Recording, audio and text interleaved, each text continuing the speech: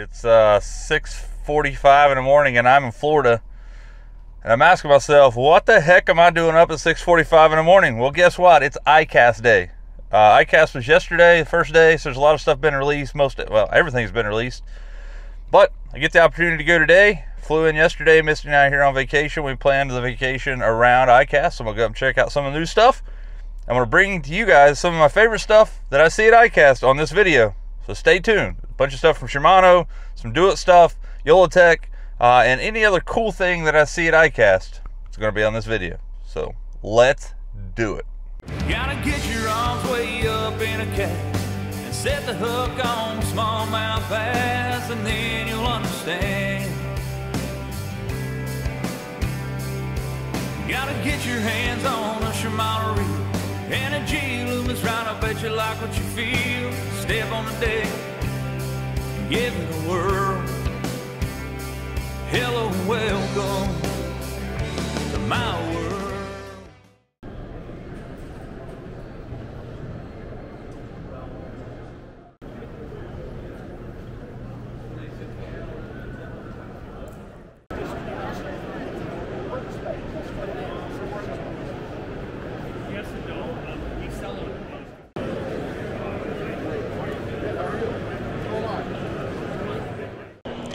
New for Shimano this year is a Curado DC200.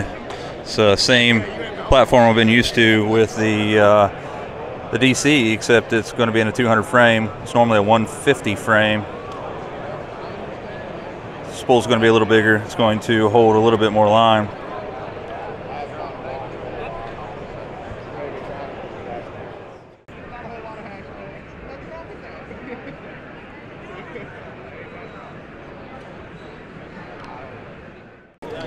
Also new for Shimano this year is a, an SLX rod line.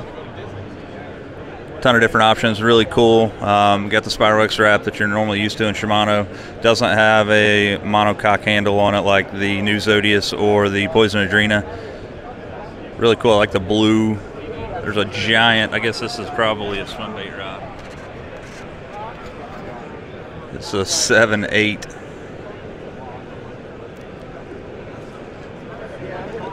Lure rating two to eight ounces.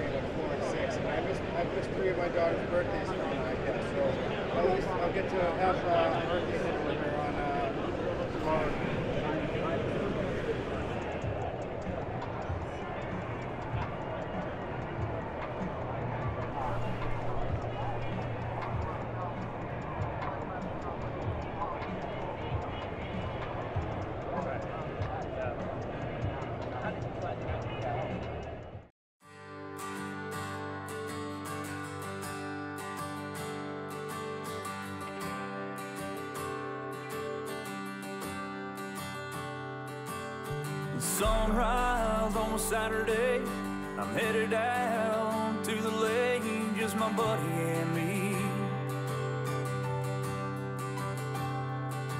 Got my boat hooked up to my Chevy truck. I'm running high on luck, I ain't ever coming down. Time to back the boat down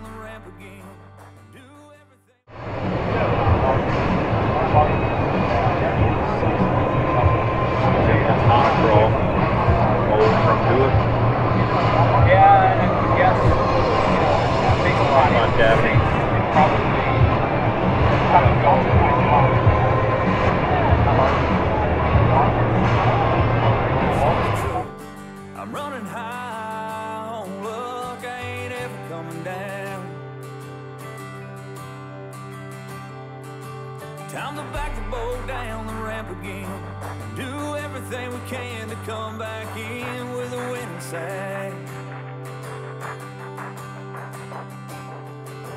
That's a life of a fisherman you wouldn't understand. Something you can't feel on dry land. Gotta get your arms way up in a cat and set the hook on smallmouth bass, and then you'll understand. Gotta get your hands you like what you feel. Step on a deck. Oh, okay.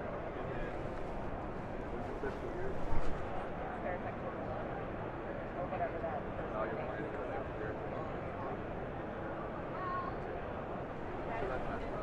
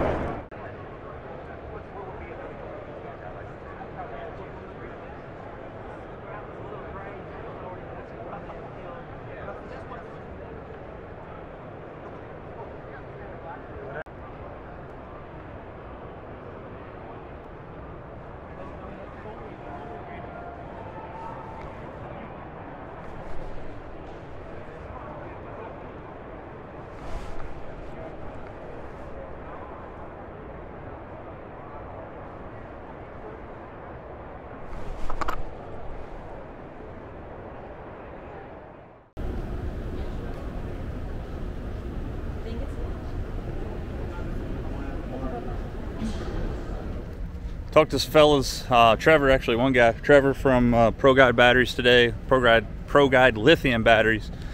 Um, basically the same price point as most other lithiums, but I had a pretty good conversation with him talking about, um, you know, telling him that I was kind of in the market for some lithium batteries. And to answer the age old question for me, should I go with three 12 volt lithium batteries or one 36 volt? Uh, and he says that that's a question that a lot of anglers or a lot of people that are using their batteries have in common.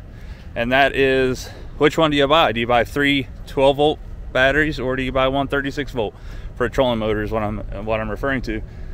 And he said it kind of all depends on your fishing style. Fishing style means that if you're beating the banks up and you have your trolling motor to 80 and 90% of the maximum power all day and you're really ripping down the bank, the 36 volt is not going to be way to go. However, you know, if you're just fishing leisure, leisurely uh, and you're not, you know, you can stay on the trolling motor all day, but, you know, in that 50% range of power down to lower than that, if you can pull that off, then one 36 volt battery actually would suffice for you, which is really cool. So, got his contact information. Appreciate his time.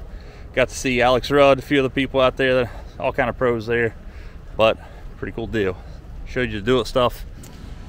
All right, guys, just finished up my uh, ICAST tour through there. Showed you guys some stuff here.